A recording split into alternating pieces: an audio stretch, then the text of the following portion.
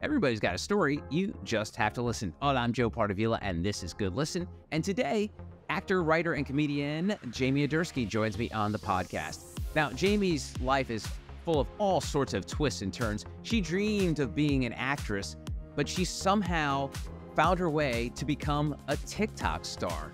Her story is full of just inspiration and fun and humor and just a great way to live your life. So let's get to it. Jamie Aderski, welcome to Good Listen. How are you? Thank you. I'm I'm great. Well, I'm glad you're great, and uh, I want to talk about this amazing transition that you, you've you've un- undergone because you started as a young, bright, vibrant comedian, actress in New York City, and then all of a sudden you wake up one day and you're married and have kids, and like your entire perspective on the world has changed, right? Because as a comedian, you it's like truth and comedy. As you know, we've all done the UCB classes and trying to find the truth. And so your truth as a young person was probably like your life, what was going on. And then all of a sudden, like this uh, huge life shift happens, and then essentially your comedic perspective shifts. So let's start with the original. When you first saw yourself being an actress, comedian, writer, what were you envisioning? What were your goals? Because I always like to say, like as a kid, my dream was to be the next David Letterman. It didn't turn out that way, but I ended up having a pretty decent career anyway. But like as a kid, did you grow up envisioning yourself as a certain actress, creator? What, what, what was your perspective at that time? Definitely. So when I was little, uh, my mom said I used to say I want to be in commercials. I thought that was this, yeah, the road paved with gold was commercials. Um, but I, I, I was always in the performing arts my whole life. Um, I always knew I wanted to be an actor, singer. When I was younger, I did a lot of dance um, and I did a lot of singing. I was really into Broadway and I thought that I was going to be on Broadway. That was my my dream. Um, that did not quite happen, but you know, other things, uh, uh, same as you, other great things happened. Um, so yeah, so that's originally was originally my plan. Um, I went to school to be a musical theater uh, major, Wagner College. And then I ended up dropping out after six months. I was going to go to a program called Point Park that had more of a dance, uh, a stronger dance program. And I was an excellent dancer. I thought, hey, this is going to be my way onto my onto Broadway. I'm a really good singer. I am not the best singer, but I'm an awesome performer and an awesome dancer. So let me really focus on that. And then I ended up over Christmas break, I booked an equity musical. Um, so I ended up doing that. And then I just kept booking work. So I didn't go back to college. Uh, then I ended up getting a record deal. Wow.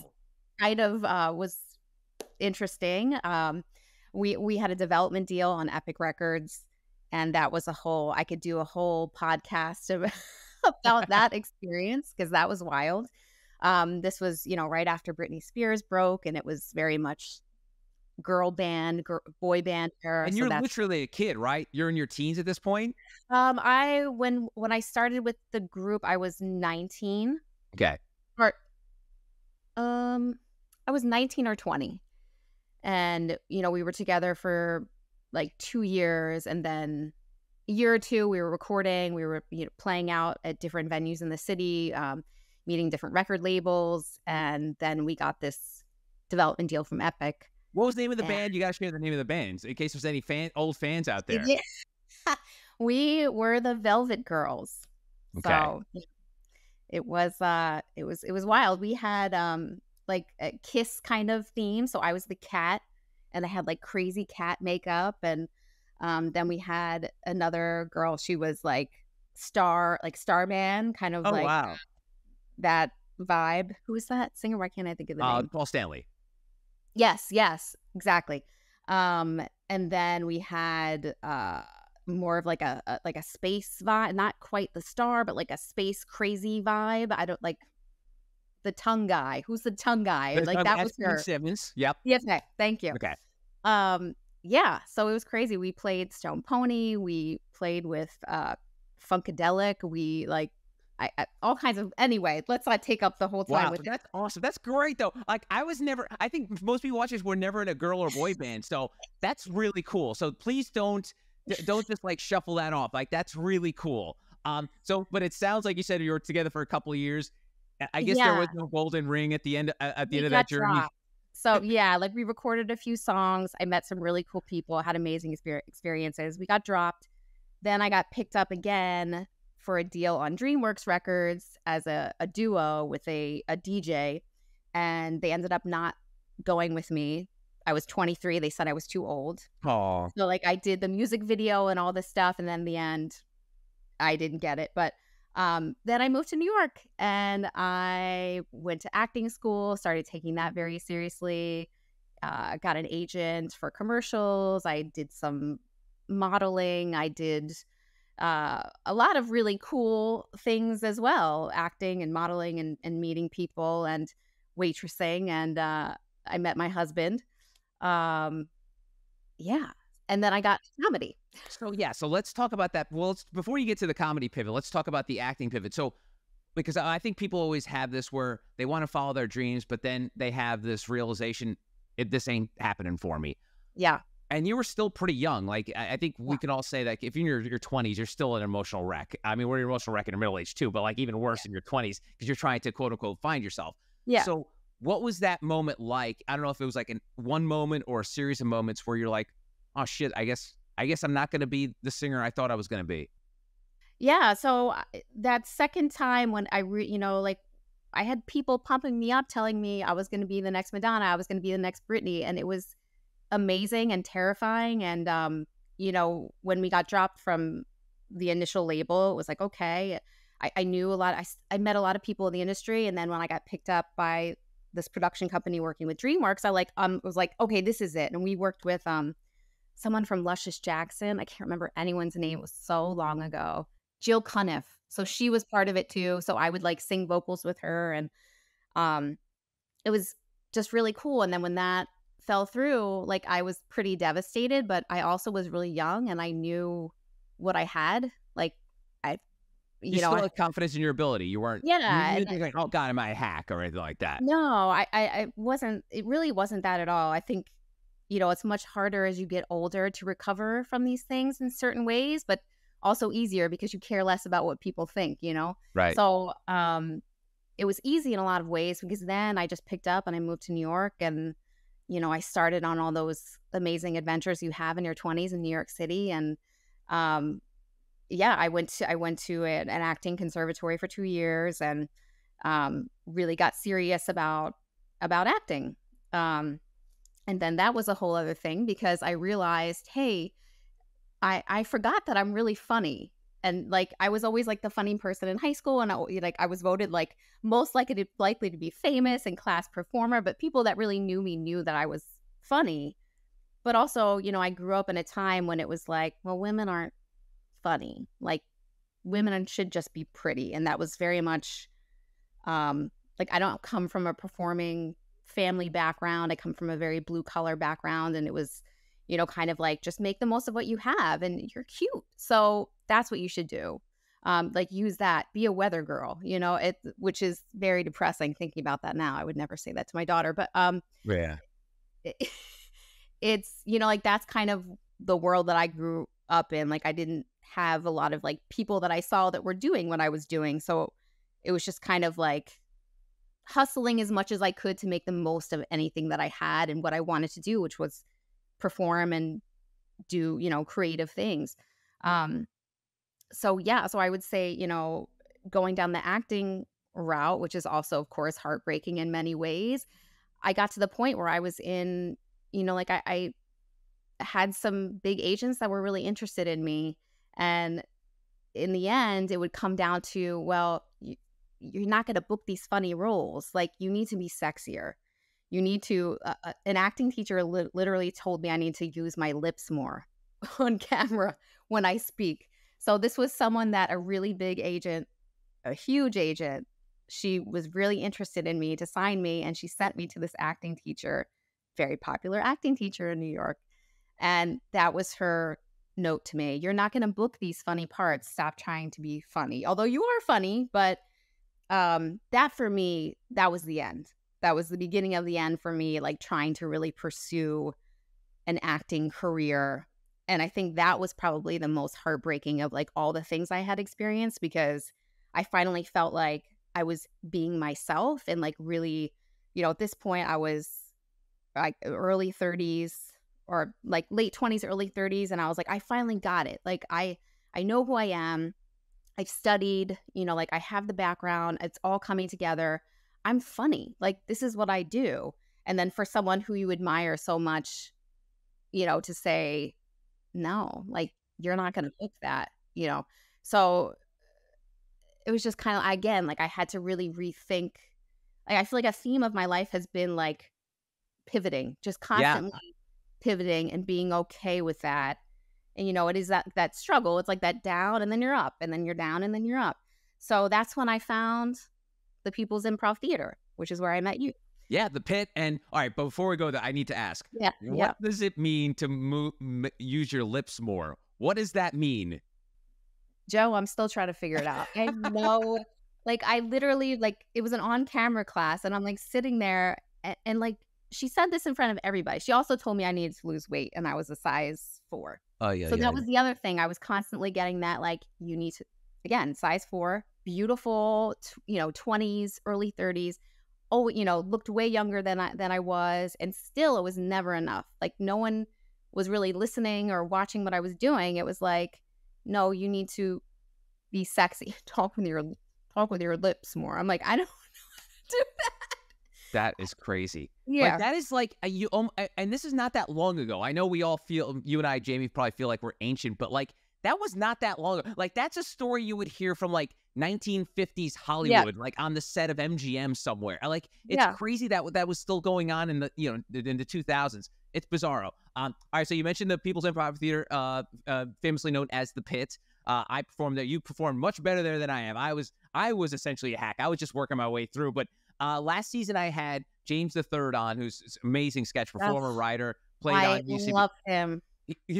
And we talked about this weird world of sketch comedy. Uh, yeah. and and for him it was really I mean you, you, you talked about the barrier of like oh you need to be pretty enough. You, you know women can't be funny. He was this black dude trying to get in sketch comedy with Jamie. As you know all the people look like us. It's all a bunch of white people who who, who had pretty decent backgrounds who just who thought they could be funny. They want to be on SNL he yeah. had a tough time doing it. So tell me about your perspective. And you mentioned the fact that women aren't considered quote unquote funny. What mm-hmm. was it like to be in that world where yeah, women can be funny and, yeah. and women are funny. Well, did, did, that just seem to open up a, like a new world for you because you were in such an accepting place? Yes, I really, I actually like, I get chills thinking about it because it really, you know, I took my first class there and I was like, this is it. This is, and not in a way of like, you know, like that, the stress of like, this is it. I gotta have this. Like, like, you know, not like that, but I felt so comfortable and also out of my comfort zone at the same time because you know the way i had trained as an actor you know there is that element of being in the moment but as a person and as an actor it's something i always struggled with like for me that was always the hardest thing and i still struggle with is really being in the moment and not anticipating um, and something that improv improv comedy teaches you is that you you have to be in the moment or you're you're done. You can't you can't even you can't function on stage if you're trying to think two steps ahead. So that was so freeing for me, not just as an artist but as a person. And it's something that I still pull from and I still work on. I still think about. Um, and so and that was just so such a special message to get. You know, um, after all, like the bullshit from people of like, you're not this, you're not that, you're not enough of this. Like, you know, I think one thing that's really special about improv comedy is that it is so accepting and that everyone really does have a, a place there as long as you're a good person. Yeah. so, um, there's something really, really magical and special about it. And especially at that time period in New York City, it really was electric. Like that improv comedy scene I don't know that it will ever be that again. I t- try to explain it to people, you know, it really it was just the place to be. I mean, and it, it was such a um the thing about improv comedy as well, it's very different from stand up where stand up is eh, very much more a messy kind of mean in a lot of ways and I think that's uh, why I I love doing stand up but I'm not as drawn to it because of the realm of it is not it's kind of mean sometimes. It's, you know, a little more cutthroat in a way that, like, let's say acting is, and, you know, the things I didn't enjoy about that. Whereas improv, you work as a team, you're an ensemble. Um, you know, so as much as you're working on your own craft, you are working in a group and you have to make it work. So that to me, eh, you know, as a human, as an artist, it, that is such an amazing skill to have and to work on, and it just makes you better. Yeah, and we we were so lucky to be, and you mentioned this sort of golden age of improv. Well, I mean, and it might have been oversaturation, you know, looking back at it now. But if you were in New York in the early mid two thousands, you could go to three theaters that had comedy running seven days a week. And then you also had, uh, Jamie, I'm sure you know, those random offshoots where there was like a basement that you could perform at noon on a Wednesday or something like that. So, so that was, and I think, you know, I think a lot of people at the time were, were complaining. I remember Bob Odenkirk. Uh, I remember he went to um, that big thing that they that UCB used to do every year, the uh, Del Close Festival. Remember they did those mm-hmm. those yeah. was like that big weekend, and he performed at one, and he talked about how it's just there's way too much of it, and I think that's probably what kind of undid it at the end, that and the pandemic. But still, the idea that you could be a performer and literally perform every night of the week and even during the day was yeah. such an amazing time. And and like you said, I don't think we'll ever see that again. No, it's too expensive, you know. And I was the artistic director, one of the artistic directors at the pit for a while, and I saw that firsthand, that other side of, well, you need to pay the bills. And I think, you know, that was part of the implosion of it is that it's not it's not sustainable for theaters to put up these teams night after night and not really make money from them. Um, so yeah, I mean it's and it is an oversaturation too. Of course, you know there was just so much at that point. Um, but I am glad to see that you know new theaters are popping up in the city and like Second City and UCB is reopening and um, the pit is still going strong. I was there like a month ago doing a show and it was really fun. Um, th- these are so important for people coming up in in the comedy world to have access to those and i hope that they know now how lucky they are because i feel like a lot of people didn't um, before the pandemic realize how what a what an honor and a gift it was to have these spaces to play at i would put on plays with my um, you know my, my graduate friends of my acting meisner acting school and we would have to pay to to book these theaters you know to get people to come see us you know, it, you don't have to pay to do a show at the pit. Yeah. Which is amazing. Well, they also did have the, the odd business model, Jamie, as you know, this was actually well written about. Even the New York Times picked this up that a lot of these theaters didn't pay the performers. Yeah. So that, there was also that issue, which there's yeah. only going to be a certain time where people are like, yes, I'm going to perform for free for all for this yeah. for this theater to make money. So that was also again not the perfect model, but again no. a great time if you're a performer because if you wanted to perform, you could perform. Yeah, yeah, I mean, yes, of course, there's that a dual issue of not being paid, absolutely, and you know, I see all sides of it. Um, I will say that I, I do think it's, you know, not having to pay performers depending on what the show is. It gives people the you know ability to you know cut their teeth and and really get a chance to perform. So I think there is like a threshold for that. Um, but yes, it's all part of why it kind of imploded on itself and yeah unfortunate and all right, well, let's get into what you actually ended up doing there because you you felt like a lot of us in that world. You it's the gateway drug was improv.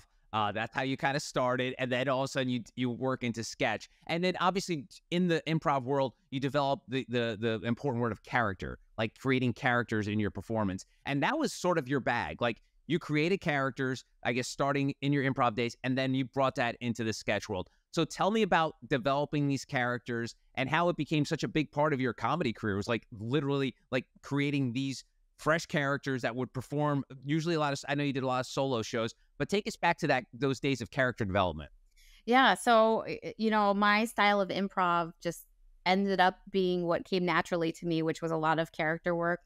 Um, which again I discovered through the practice of of doing improv and you know with my acting background and and my sense of humor. You know, I I'm such like a, a waiting for Guffman fan. Like I love any kind of humor that uh that is like almost not meant to be humor. Like we're really laughing at the person and you know, it, feels real but not real.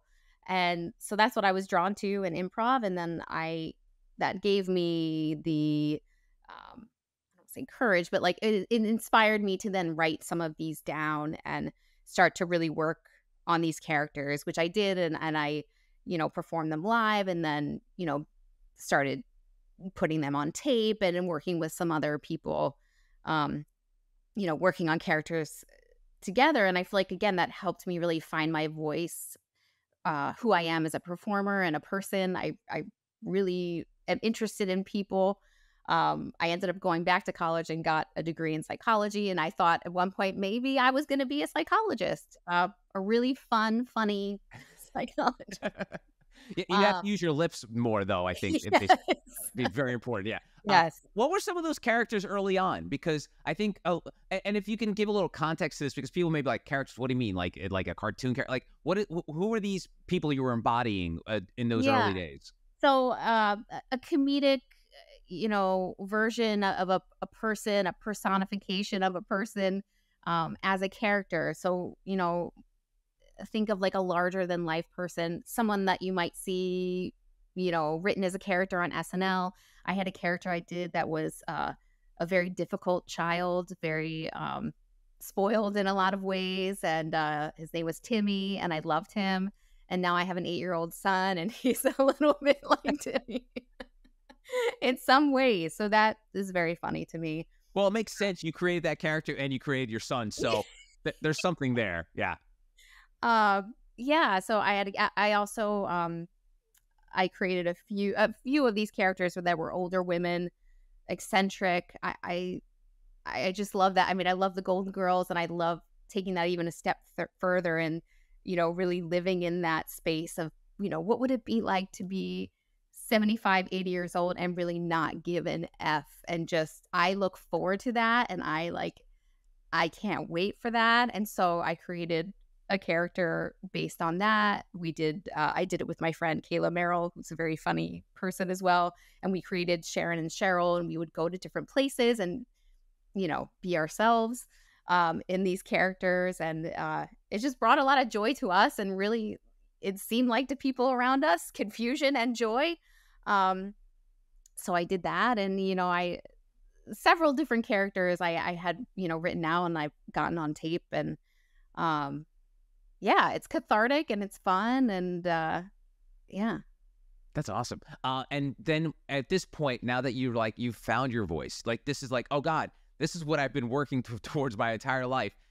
What do you do with that then? Because I think people may, may be watching or listening to this right now, be like, okay, so did you make money off of what you were doing? Like, you know, did you make a living off of this? It, it, what was what was going on in the world of Jamie Aderski? Yeah. So it's really interesting to look back where I am now and see the chain of events that occurred. So, you know, starting with the characters that really got me writing. And I always loved writing. I always loved creative writing, but I never, again, it's that thing where I was like, I never thought I was good enough to do it. And, you know, writing these characters fueled me to do it more and more and more. And then I got to the point where I wrote a solo show.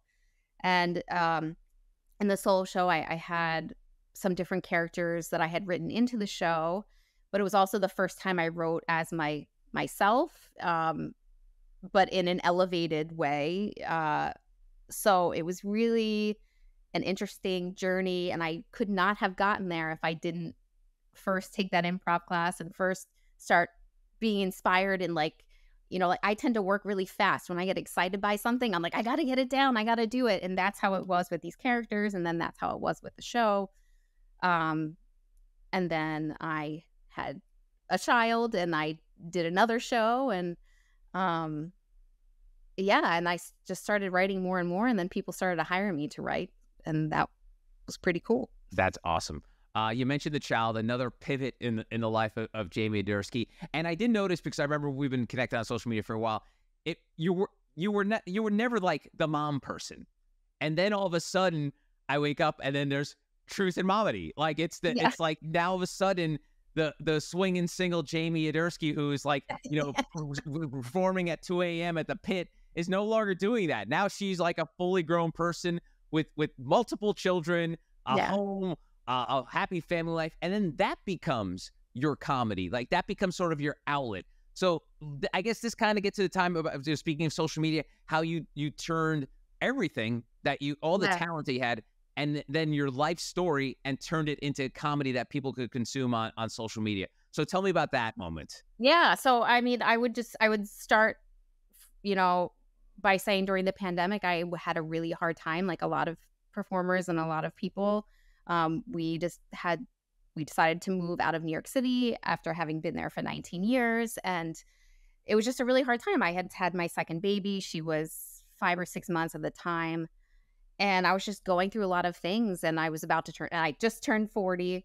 Um, so it was a hard couple of years for me uh, mentally. And then about, I would say like eight months ago, I started like feeling good, or even more than that. I started to I would say like a year ago, I was like, I'm starting to feel more like myself. Like something is is happening here. Uh, I went back to a dance class and I and I loved that so much. And then I injured myself again, which I did initially when I was a semi-professional dancer, and that's why I stopped. And then I got really depressed again. And I was like, I thought this was it. I thought I was just gonna go to my dance classes, be a mom, be happy, and kind of let go this idea of this comedy career. I had done some stand-up in town and um, when we first moved here and like just nothing was really clicking for me. So then, you know, I had it in my head, I should start a TikTok. And people had said this to me before and I was like, I hate social media. I don't want to do t- I don't know what to do on TikTok like um but I like had just had some like work done on my knee. I was on my couch. I really, if you go back and you watch my first TikTok, and I will not take it down because I wanted people to see how sad it is and how, like, you know, anyone can do what I'm doing, but you have to actually do it. So, you know, it was January 17th. I made this TikTok and I was like, oh, this is interesting. Like, I can just like kind of do what I want on here.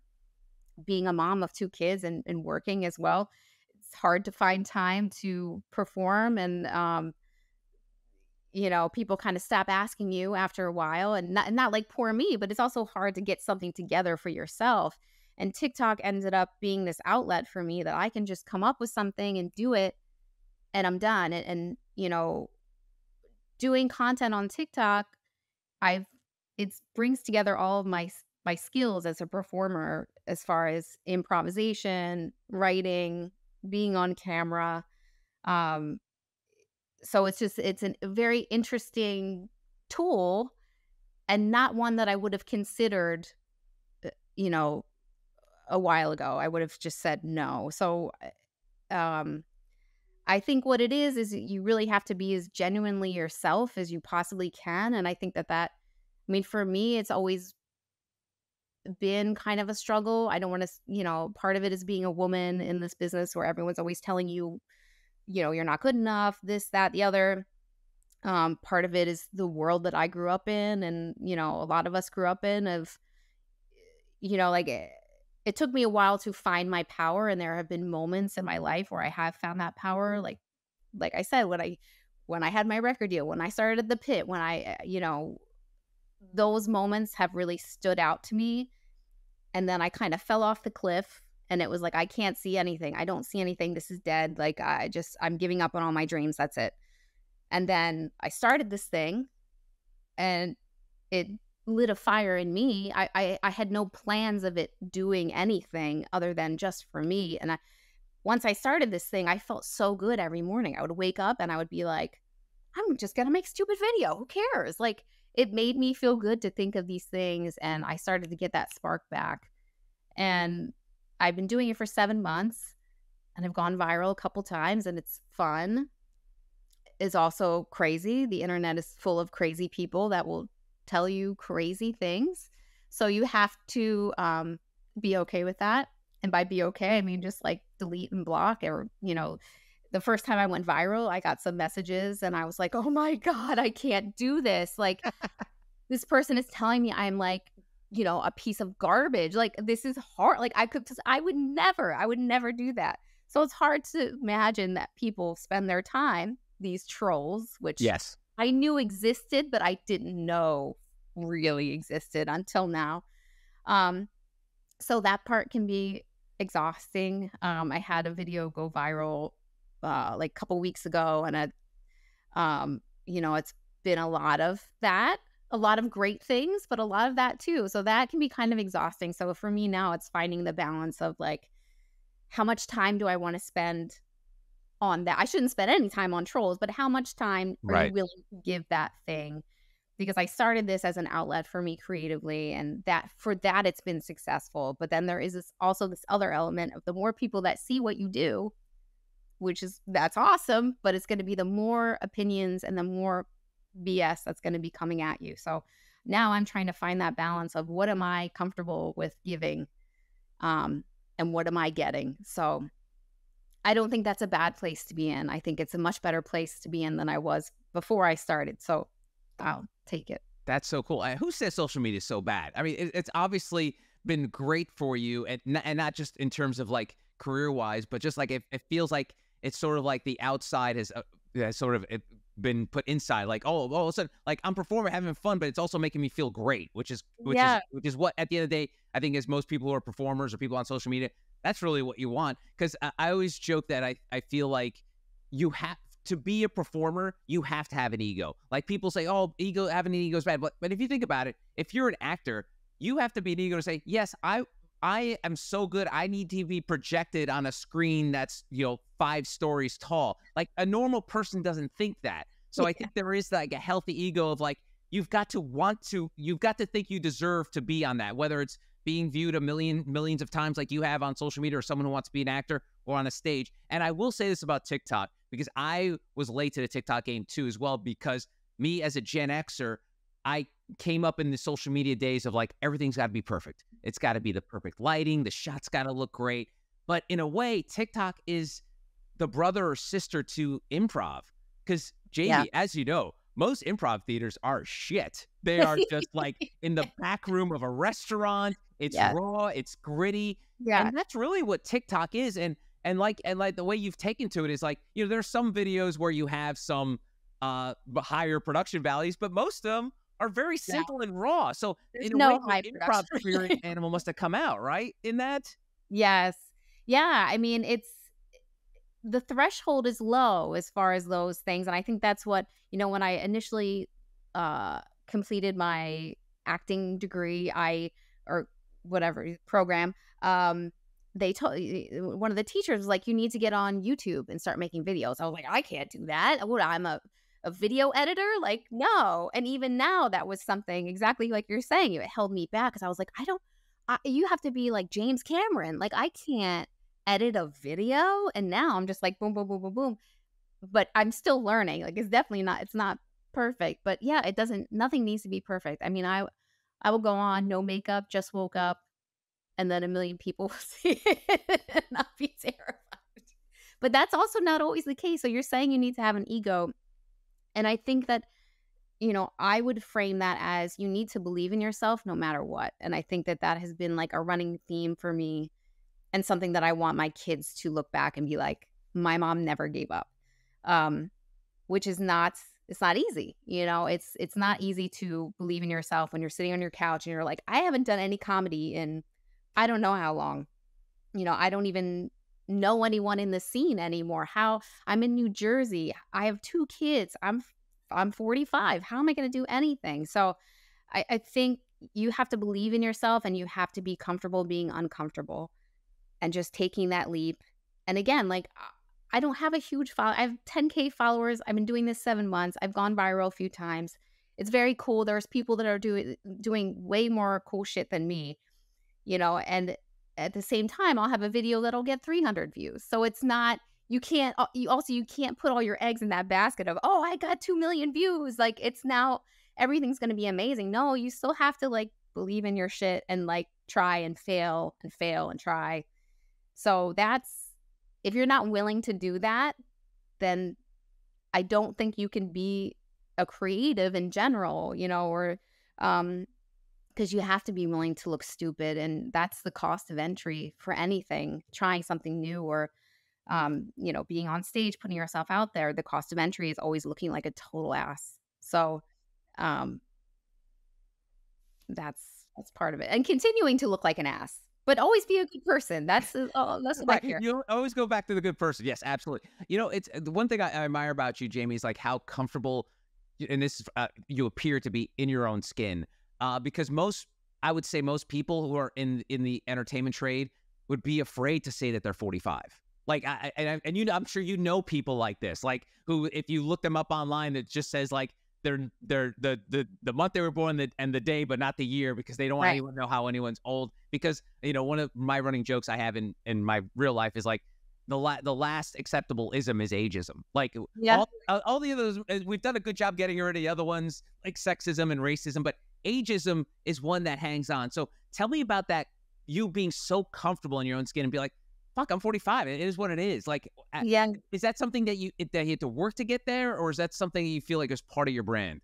I think it's, you know, I think it's both. I think it's more part of who I am. I, I think like I'm, you know, I've certainly had my struggles and my challenges, and I continue to, like anybody else, but I am proud of the fact that I'm a 45 year old woman who eh, continues to create something. And I want to inspire other women to do that as well. I think it's, you know, it's really, it's, it's hard. It's, it's hard out there. So, and life is hard. And I think if you can find something that you love to do and do it, and, you know, if you can get paid for it, even better. But if you can just give yourself that chance, you know, I, I, I, never, you know, I never want to be like, oh, I'm 45 and I'm so great. I, that's not what I think. But I think that what I do well is not, like I said, not giving up. And I think it's so important for women our age and, and really anyone on my age, our age, to be like, Yeah. hey, like, we don't, we still have a voice. We don't need to like go and disappear and, you know, ret- retirement's like 65. So we're not even close. But, um, you know, it- because there is that feeling of like, oh, well, what, what, who wants me now? Like, I'm 45, I have kids. I, you got to just believe in yourself. And it's not as easy as that, but hopefully surround yourself with people that support you. I think that's important too. Like, my husband's amazing, my kids are amazing. I have great friends in my life. Um, and I think that's part of why it's important to be a good person too. So you have those things and you can give those things back. That's so cool. Uh, you know, it's funny to talk about the age and the fact that you know, well, you know, what someone want to do with a forty-five. I- And I, I, al- I always like to say, I think the election uh, cycle when it was Biden and Trump, a lot of it was uh, age was was a big part of it. And the one thing that was was odd, I think, to most people was that they're basically the same age, but Trump doesn't play as an 80 year old. I mean, say what you will. I'm not. If Yeah. anyone knows me, they know that I uh, I'm your typical card carrying liberal from New Jersey. Uh, That's me. But like, you see the way the age plays, the way Biden's age plays as a, opposed to Donald Trump. You cannot take that away from Donald Trump. He does not act like a 80 year old man. I mean, he is he. He's he can talk for. I mean, what he says is maybe bullshit, but the guy could talk. He can To he's say the go- he's least. Yeah. grinding with 24 hours a day. Biden, and the reason he was sort of forced out was he was playing against his age. Like he was he was looking like an 80 year old, and and I think that's sometimes what people don't really look into. They always look at the like the actual number. Oh, this person is 45. They must they're they're too old. They must have no energy. And then obviously, Jamie, if anyone knows you, watching you on TikTok, they know you got plenty of energy. You got the energy to spare for 45. Um, so I think that's why I feel like we the world is missing nuance. Like we're so black and white, we're so data driven that just the nuance of like, oh yeah, but what is that? What is that 80 year old? You know, there's a difference between 80 year olds, there's a difference between people in their 40s. I had a person once, I can't say his name because he would be sued to death, uh, who ran this production company in Los Angeles, very successful. And he said to me at a lunch, just me and him just bullshitting, he goes, I would never hire, I would never hire someone who's over 35. And I said, well, well, why? And at the time I was over 35. So I'm like, what the fuck's this guy talking Yeah. about? He goes, he goes, from my experience, people who are over 35 are set in their ways and you can't teach them anything. So No. again, like it, he seemed it was okay for him to say that, but take out the 35 to be like, oh, um, I would never hire someone who's from Canada. Yeah. Like, yeah, no, that's that's wrong. So again, Yeah. it's the nuance of it. Uh, it's it's it is it is important that Yeah. we just see beyond what the, the paper may say, and it feels like you're you've grasped that. You you you get that the, the nuance is very important. absolutely. I think, you know, saying that someone over 35 is set in their ways, I, I mean, I would say that I I'm a case for that not being the case. Um, you know, I, I think people that are older are some of the most adaptable people because they have to be. I, I, to say that that seems like they're stuck in their ways, I think there's more of a breadth of experience to pull from, and there's so many positives about it. I mean, I wouldn't want to be 20 again. I wouldn't mind having that body again, but I like, you know, and being in the city just running around. But uh, it's when I think of my mentality then, I, you know, I wish that I had what I have now in my brain. I feel like I would have done so much more, you know. But of course, that's always how it is. Youth is wasted on the young. And yes, you took the words right out of my mouth. Absolutely. Uh, and speaking of the young, you have two kids, and I know you were late to the TikTok game, but you've been on social media for for decades. Um, yeah. What ha- now? As because I am one of these people, the you know one of those outliers. Me and my wife don't want to have children. We're too selfish. We're like we like the, the life we have. Uh, people used to make fun of us. They called us dinks, double income, no kids. Yes, uh, I amazing. It's it, it's it, trust me, it, it, works for me and it works for my wife. Um, yeah. But as a as a mom, now you have to worry about oh God, one of these days my kid's gonna ask for a smartphone, and one of these days they're gonna want to be on social media. Have you? Is it? I know it's kind of early, but uh, have you thought about that? Like what? How those conversations are gonna play out? Yes. So my son is he's eight, and he wants to be in the business.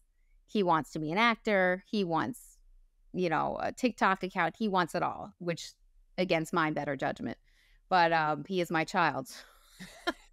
Again, you made him, so it's That's, you. It's expected. Yes. Yes. So you know, we we don't let him do all this thing, all those things. You know, like I I have a commercial agent, and I've you know talked to them about like what it's like for kids in the business and things like that. And I'm in the business, so I I know I've worked with kids on sets, and I don't feel that that's a great place for him to be right now. So we're putting that, you know, off as long as possible. But as far as social media, I think what's really important is for him to see me on social media because he sees what I go through on TikTok where you know, I'll make a video and be really excited about it and then it won't do well and and and and, and I tell him about it. I'm like, "Yeah, I made this video like it didn't get a lot of, of views, but that doesn't matter because I liked it. I thought it was he's like, "Mom, I thought it was hilarious." I'm like, "Yeah, me too. We have really good sense of humor." Um, so you know, he sees that and I I make sure to tell him like it's not a failure, like you just keep going, you know. Or when I have one that does really well, and he's like, "Oh my god, mom, you're like famous," I'm like, first of all, definitely not. Please don't tell people that. And second of all, it doesn't that doesn't matter. None of this matters. This is you know when when he he hears me say, "Oh, someone said something mean about me," and he's like, oh, "Aren't you upset?" I'm like, yeah, of course that doesn't feel good, but these are not people that know me. So we don't care what they say. Like they don't know us. They don't know what kind of people we are. Um, so that's, you know, we call them a troll and we just don't respond. We just leave that alone. So, you know, I like for him to see all those things as I'm like delving into this world of content creation. Um, that it's not about being perfect and it's not about having everyone like you because that's never going to happen and you're never going to always be perfect. You're never going to be perfect. But again, I think like you were saying, like that was my image of of um, social media, like the influencer, and I'm like, that's definitely not me. Uh, that perfection, and that's why I stayed away from it for so long. And I think for him to see that it's not about perfection, it's actually the opposite. It's about just kind of showing who you are, as comfortable as with you know what you're comfortable with with giving and with showing people. Um, but you're not giving it away; it all belongs to you. You know and you you have a say in in, in what you create and then you can't control other people just like in life you can't control what other people think about you say about you do you know most of the stuff in life we cannot control. Um, the only thing you can, can control is your brain and how you feel about yourself and how you think and there'll be days where i'm like i don't want to go on tiktok i don't want to do any of this because i'm a human and i don't always feel like creating something you know like i just kind of feel like chilling and, and not thinking about it Man, those are some really deep conversations with an eight year old. I think my conversation with my mom was like, don't eat your boogers. Like, this is really, these are really deep conversations yeah. here. that and that is very much who he is. He's a, he's an old soul for sure. As much as I always hated when people said that "Oh, he's an old soul, he really is. I mean, he's like a really sensitive dude and has a is very inquisitive about everything in life. And um, I think it's unex. It, I didn't expect that this would be helpful in some way for him to see this, but I can see that it is. Um, you know, letting him know, like, 'cause, you know, he has like a couple little videos on YouTube. He's like, no one's liking it. I'm not getting the, th- the thumbs up. I'm like, dude, it's not about that. Like, you know, and, and then he sees that I truly am living that. Like, I'm like, you know, this video tanks, this video tanks, this one does great, this one tanks. Like, it's fine. It, who cares? None of this matters. It really doesn't.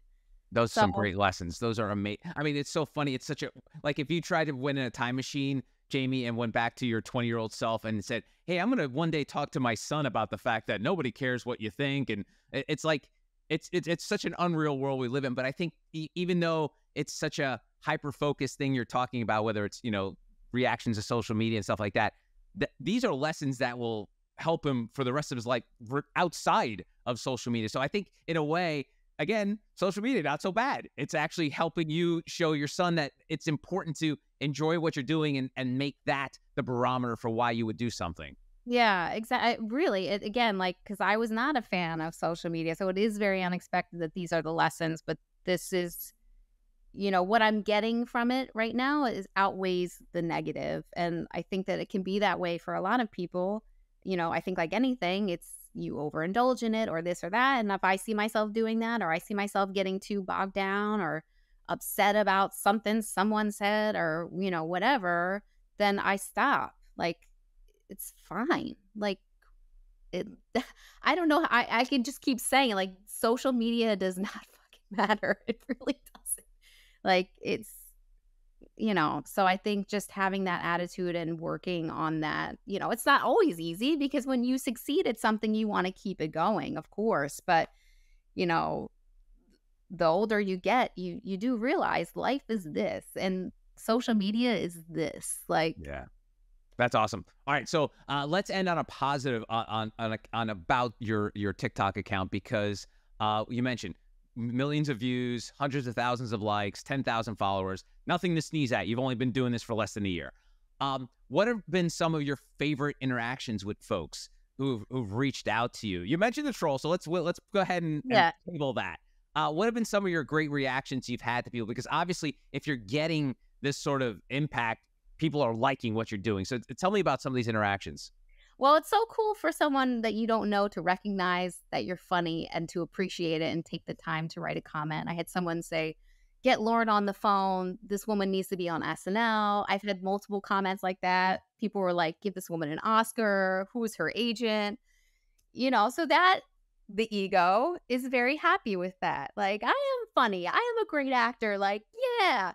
Um, you know, and and besides that, even just meeting other parents, other women my age, other moms, and seeing their content and helping to support them, and um, that has been bring that has brought me a lot of joy to see other people succeed, and I think that that's something again as you get older, you know how important that is to like keep clapping for people until it's your turn because it will be your turn, and when it is, it's no fun if no one is there to clap with you.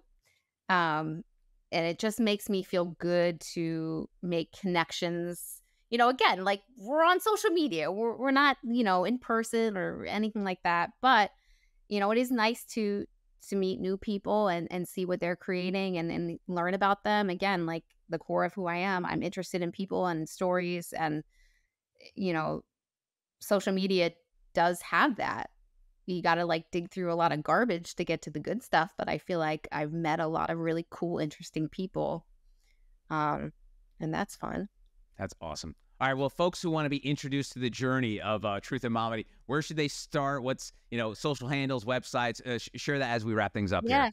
um so you can follow me on tiktok at jamie aderski and you can i just started an instagram page as well that's um, at truth and momedy jamie aderski my website jamieaderski.com it's really just all jamie aderski and uh, apparently i'm the only one in the world with that last name so Well, welcome to the club. I, am It's, it's it's actually great for Google. So yes. So when I, when everyone's looking up for me, there's not, not a lot of idiots Oh. named Joe Pardavila. So same with Jamie Aderski. So Right. you're an idiot, but I'm just saying that there's no other people like us out there. Sometimes I am. It's okay. Yeah. Jamie, thanks for the time. I really appreciate it. Thank you. This was great. Thank you so much. And that's today's good listen. If you enjoyed our chat, please make sure to leave a five star review on Apple or Spotify. And if you're watching this on YouTube, hit that thumbs up button. It's a small gesture, but it really helps my channel. You can connect with me on Twitter, LinkedIn, or Instagram at Joe Pardavila or on TikTok at J Pardavila. If you want to shoot me a note and tell me your story, you can write to me at joepardavila at protonmail.com. Thanks for spending some time with me today. I really appreciate it. Until next time, adios.